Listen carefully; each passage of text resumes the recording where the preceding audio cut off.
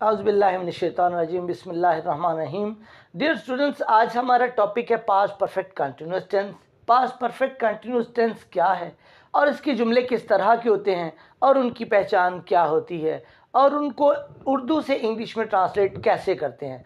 ये तमाम चीज़ें बड़ी तफसील के साथ इसमें आप लर्न करेंगे। तो चलिए बढ़ते हैं हम इसकी पहचान की जानब कि इसकी पहचान क्या है? उर्दू के जुमले किस तरह के होंगे इसके? तो इसकी डियर स्टूडेंट्स पहचान ये है कि उर्दू के जुमलों के आखिर पर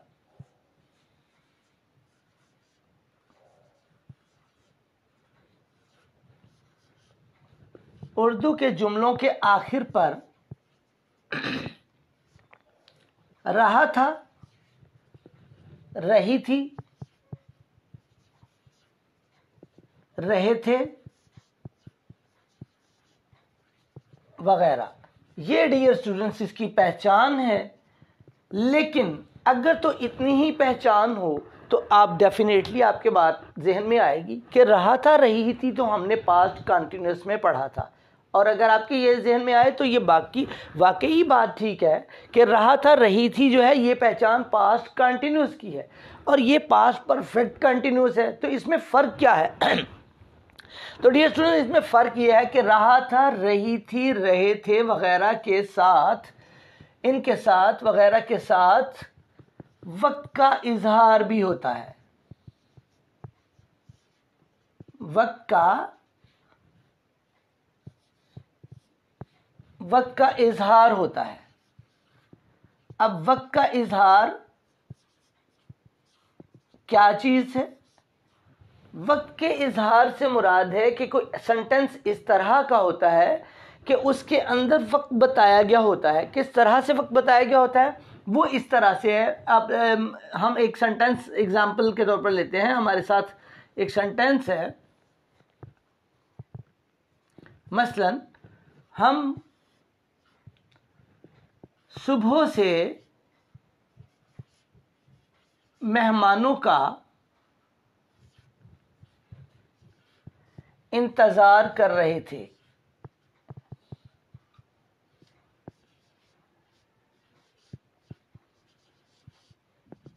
अब ये देखिए आपके सामने सेंटेंस है, हम सुबह से मेहमानों का इंतज़ार कर रहे थे। रहे थे जो है वो तो पास कंटिन्यूस का भी है, लेकिन इसके साथ वक्त का इजहार हो गया कि आप सुबह से कर रहे थे। तो ये आपका सेंटेंस इंडिकेट कर रहा है, ये पहचान बता रहा है कि ये पास परफेक्ट कंटिन्यूस है, पास परफेक्ट कंटिन्यूस है। अब बात यह है कि how to translate such sentences into English कि हमने ऐसे जुमलों को, जब हमें इस तरह के जुमले मिले तो उसको इंग्लिश में ट्रांसलेट करने के लिए हमारे पास क्या फॉर्मेट होना चाहिए, हमारे पास क्या फार्मूला होना चाहिए?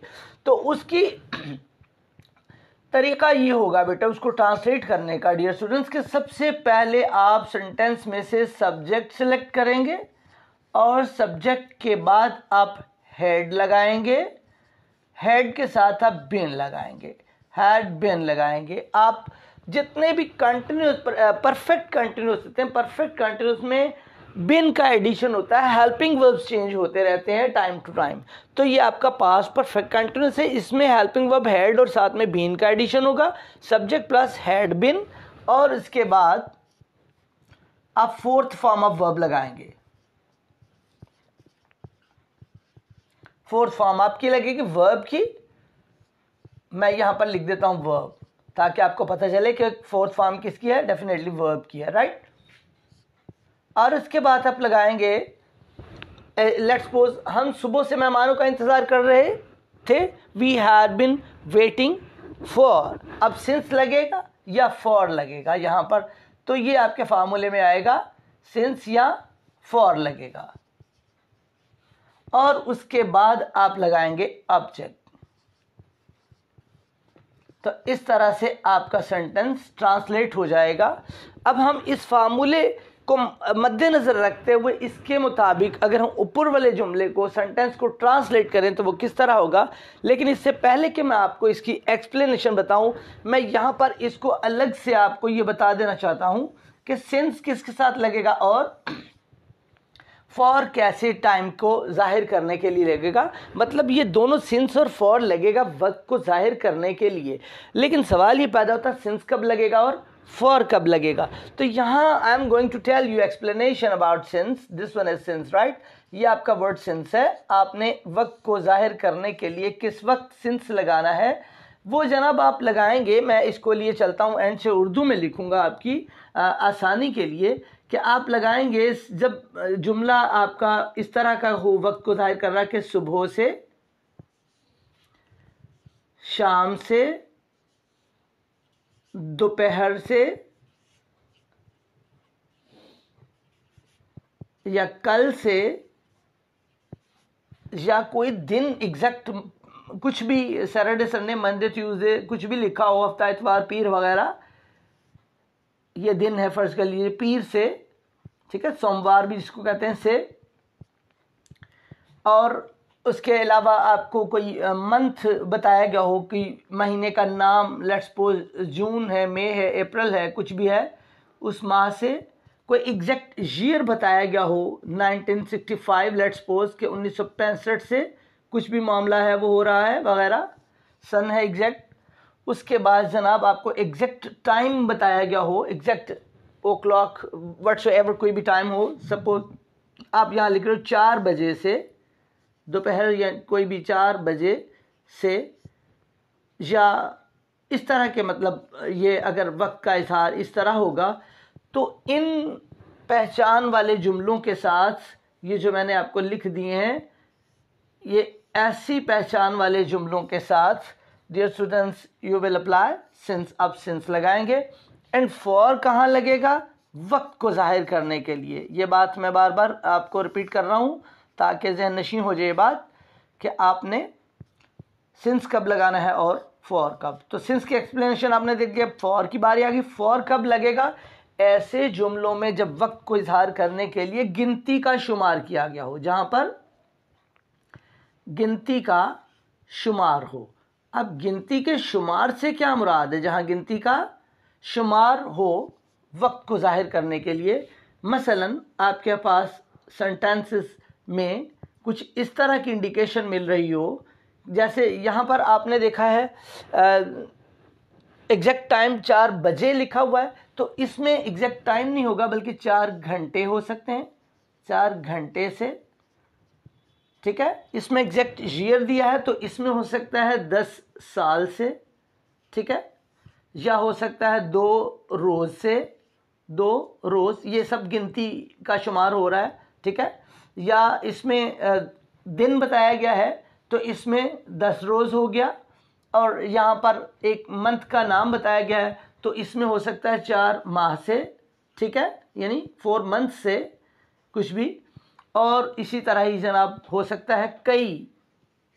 अब एग्जैक्ट यहाँ पर हमें नहीं पता कि कितने दिन से कितने घंटे से कुछ हो रहा है तो ऐसी सूरत में जब कई का लफ्ज़ आ जाएगा तो तब भी कई रोज़ से या कई साल से, ठीक है, वगैरह, ऐसी सूरत में या कई घंटों से आ गया, जबकि इसमें घंटे एग्जैक्ट बताए गए कि फ़ोर आवर्स हैं।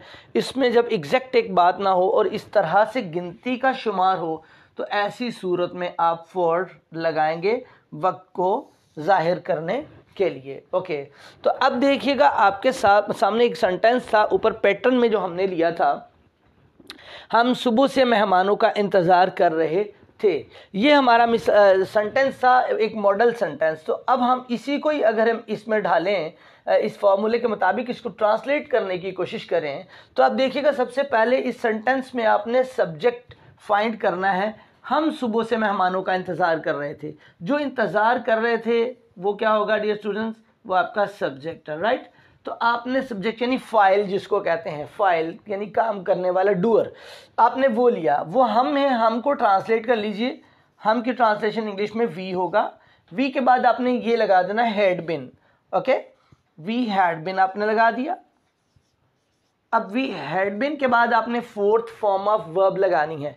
यानी फेल की चौथी फॉर्म फोर्थ फॉर्म लगानी। तो अब आपको इस सेंटेंस में पता होना चाहिए कि फेल क्या है।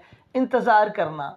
आपको मैंने इसकी बड़ी अच्छी सी एक्सप्लेनेशन बताई हुई है ऑलरेडी जब मैंने आपको करवाया था पार्ट्स ऑफ़ स्पीच तो उसमें ये बात हुई थी क्लियर तो वी हैड बिन अब इंतज़ार करना वेट आप साथ में फोर्थ फॉर्म बनाने के लिए आईएनजी लगा देंगे वी हैड बिन वेटिंग और एक बात जो आपको याद रखना चाहिए वो ये है कि वेट के साथ हमेशा आपकी प्रेपोजिशन फॉर लगती है। ये वो वाला फॉर नहीं जो हम ये वाला लगा रहे हैं, बल्कि ये प्रेपोजिशन है जो वेट के साथ हमेशा लगती है। वेट फॉर होता है ओके इंतज़ार करना वेट फॉर जैसे होता है, सुनना लिसन टू उसके साथ प्रेपोजिशन टू का होना लाजिम है। इस तरह वेट के साथ फॉर की प्रेपोजिशन होना लाजिम है। तो वेट के साथ हमेशा फॉर लगा, ये वो वाला फॉर है। We had been waiting for हम इंतज़ार कर रहे थे। किसका कर रहे थे? ऑब्जेक्ट ऑब्जेक्ट क्या है जी? मेहमानों का आप इंतज़ार कर रहे थे। We have been waiting for the guest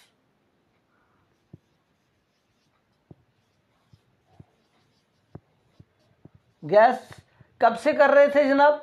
आप वेट कर रहे थे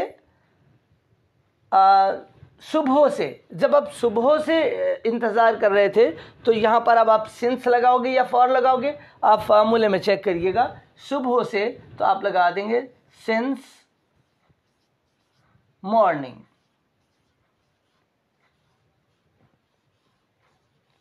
we have been waiting for the guests since morning we had been waiting for the guests since morning uh, yes यहाँ पर now look once again there comes here a mistake and you will have to correct it आप इसको correct करेंगे और वो क्या mistake थी ये अच्छा हो गया translate करते हुए बात note कर ली गई notice में आ गई formula में तो ये आप क्या करेंगे यहाँ पर डियर स्टूडेंट सबसे इससे पहले आप ऑब्जेक्ट लगाएँगे यहाँ पर ऑब्जेक्ट लगेगा। और ऑब्जेक्ट के बाद की बात है कि आप सिंस लगाते हो या आप फॉर लगाते हो वक्त को ज़ाहिर करने के लिए। तो चलिए बात भी क्लियर हो गई। अब फार्मूला क्या हुआ? सब्जेक्ट लगा हेडबिन लगा फोर्थ फॉर्म ऑफ़ वर्ब आपने लगाई। उसके बाद आपने ऑब्जेक्ट लगाया जुमले में से, और उसके बाद वक्त को ज़ाहिर करने के लिए at the end of the sentence you will either choose since are for या आप यूज़ करोगे सिंस या आप करोगे फॉर वो कब करना है? I have explain you with great detail right मैंने आपको बहुत वजाहत के साथ ये बता दिया है। मुझे उम्मीद है इस जुमले को मॉडल सेंटेंस को जब ट्रांसलेट किया है तो आपको ये बात समझ आ गई होगी। लेकिन चलिए हम मज़ीद एक्सप्लेनेशन के लिए सेंटेंस एक और चूज़ करते हैं। आपके पास सेंटेंस है suppose you are talking about a fisherman आप एक मछेरे के बारे में बात कर रहे हो कि मछेरा, जनाब, कई रोज़ से मछलियाँ पकड़ रहा था। फिशर मैन मैं इसको ताकि साथ ट्रांसलेशन भी आपको लिख दूँ। Fisherman had been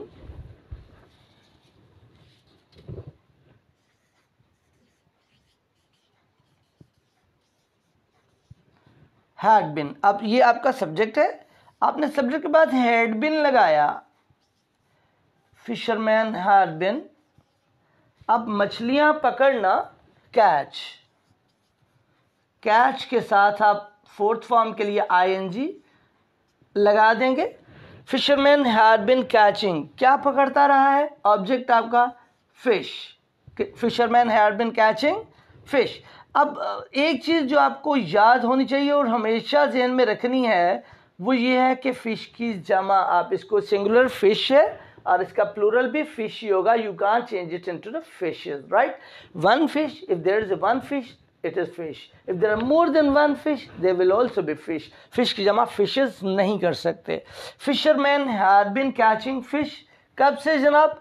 four many days काफ़ी दिनों, कई दिनों से फोर मैनी डेज़ यानी मछेरा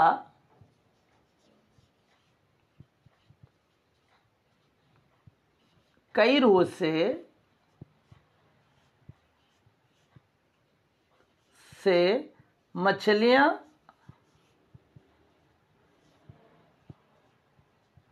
पकड़ रहा था पकड़ रहा था। मछेरा कई रोज से मछलियाँ पकड़ रहा था। अब इसमें आपने देखा सब्जेक्ट मछेरा है, क्या कर रहा है? आपने पहले हेल्पिंग वर्ब तो लगाया ना हेड और बिन लगाया हेड बिन और वर्ब क्या होगा? पकड़ना वर्ब है। फिशरमैन हैड बिन कैचिंग क्या पकड़ रहा है? जो पकड़ रहा है दिस इज़ ऑब्जेक्ट फ़िश कब से, वक्त का इजहार के लिए आपने फॉर लगाया। मैनी डेज़ या several days even you can write बल्कि मैनी डेज़ कई रोज है ना तो आप इसको सेवरल डेज़ कर लीजिए, वो ज़्यादा बेहतर होगा। कई रोज़ हैं, जब बहुत से दिन से होगा तो फिर आप मैनी करेंगे, वो ज़्यादा बेहतर रहेगा। आप इसको सेवरल कवर दे दीजिए। Had been catching fish for several days for several days मैं इसको रिमूव करता हूँ ताकि आपको क्लियर लिखने, पढ़ने में आ जाए नज़र। तो ये आपके सामने सेंटेंस था। और इसके अलावा फ़र्ज़ कर लीजिए आप और करते हो कि परिंदे चहचहा रहे थे राइट अब हम इसको उर्दू में लिख लेते हैं।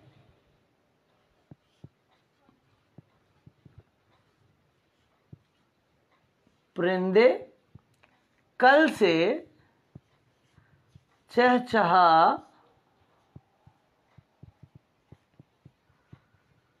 रहे थे या यूँ कह लीजिए कि कल से परिंदे चाह चाह रहे थे। तो इसके लिए भी आप देखिएगा सब्जेक्ट आपका है बर्ड्स बर्ड्स के साथ आप हेल्पिंग वर्ब हैड लगाएँगे फॉर्मूला के मुताबिक। सब्जेक्ट देन कम्स हेड और हेड के साथ आपका होगा had been birds have been what they have been doing वो क्या करते रहे थे? फोर्थ फॉर्म ऑफ़ वर्ब चहचहाना आपका वर्ब है। Birds had been chirping C H I R P chirp chirp mean चहचहाना twitter twitter twitter भी चहचहाना होता है। बर्ड्स हैड बिन चिरपिंग कब से चहचहा रहे हैं? कल से। अब आप देखिएगा, कल से के लिए जो लास्ट है, उसके लिए यस्टरडे लगाएँगे। लेकिन सिंस लगेगा या फॉर लगेगा? आपने इनको जब आपकी प्रैक्टिस हो जाएगी सिंस और फॉर के यूज़ के लिए तो तब आपके लिए प्रॉब्लम नहीं बनेगा। अब आपने देख लिया सिंस के लिए कल से लगा राइट तो आप यहाँ पर लगा दें birds had been chirping since yesterday birds had been chirping since yesterday तो इस तरह से जनाब आपने इसको ट्रांसलेट कर लिया और फार्मूला आपका उसको मद्देनज़र रखते हुए सब्जेक्ट लगाया देन आपने हेड लगाया फोर्थ फॉर्म ऑफ़ वर्ब आपकी चिरपिंग लग गई चिरप की इंग लगा दिया आईएनजी लगा दिया चिरपिंग कब से? वक्त इजहार के लिए सिंस यस्टरडे कल से। परिंदे कल से चहचहा रहे थे। कई रोज से बर्फबारी हो रही थी। सपोज़ आपके पास जुमला है, कई रोज से बर्फबारी हो रही थी। आप कई साल भी कर सकते हो। आप सिंस फॉर में कोई ईयर भी लगा सकते हैं। ये फार्मूला पैटर्न आपके पास होना चाहिए, आपको इल्म में होना चाहिए। उसके बाद ट्रांसलेशन आपने अकॉर्डिंग टू दी फार्मूला आपने फार्मूला के मुताबिक इसको ट्रांसलेट कर देना। There is nothing to worry about तो अब देखिएगा, बर्फ़बारी होना, ये अब आप बर्फ़ का गिरना, बर्फ़ गिर रही है, यानी काम करने वाला आपका स्नो है। स्नो एज ए सब्जेक्ट है। स्नो के बाद हेड लगा दीजिए। स्नो हेड बिन अब स्नो आपका सब्जेक्ट है तो हेड बिन आपने फॉर्मूले के मुताबिक लगा दिया वर्ब प्लस बिन और उसके बाद आपने लगाना है वर्ब तो वर्ब इसमें क्या है? बर्फ़ तो हो गई स्नो जो कुदरती होती है। अब बारी का होना, बर्फ़ बारी होना, बर्फ़ बारी mean this one is verb ये वर्ब जो है वो बारी है। बारी मीन्स कि गिरना, बर्फ़ का गिरना, बर्फ़ बारी होना, बर्फ़ का बरसना, बर्फ़ का गिरना। तो स्नो फॉल होती है बर्फबारी तो फॉल को ऐसे वर्ब आप लेंगे। Snow had been falling fall गिरना तो फॉल आई एन जी इंग लगा दिया आपने। स्नो हैड बिन फॉलिंग कब से गिर रही थी? कई रोज़ से वक्त का इजहार आ गया। जब कई रोज़ हो जाएगा तो ऐसी सूरत में आप कई रोज़, कई साल, कई माह, कई दिन से के लिए वक्त, आप सॉरी फॉर लगाएँगे वक्त के इजहार के लिए। For several days for several days, right? So this is a way dear student to translate such type of the sentences uh, those which one belong to past perfect tense जिनका ताल्लुक past perfect tense से होता है। तो इस तरह से आपने ट्रांसलेट करना है और मुझे उम्मीद है आपको क्लियर हो गया होगा। एक चीज़ जो हमेशा स्टूडेंट्स के लिए परेशानी का बायस बनती है वो कॉम्प्लिकेशन जो होती है वो सिर्फ़ use of since and for होती है कि सिंस कब करना है और फॉस फॉर कब करना है तो मैंने आपको ये एक्सप्लेन कर दिया है। मुझे उम्मीद है कि आपको ये लेक्चर मेरा समझ आ गया होगा अच्छा लगा होगा। अगर ऐसा है, आपको अच्छा लगा है तो आपने अगर आप न्यू हमारे जो है वॉच कर रहे हो, आपने पहले हमारा ये लेसन नहीं सुने लेक्चर्स नहीं सुने, और न्यू आप ज्वाइन कर रहे हो तो हमारे लेक्चर्स को, हमारे चैनल को सब्सक्राइब कर दीजिए शेयर कीजिए लाइक कीजिए एंड सिट इनशाला meet you in next lecture अल्लाह हाफिज़।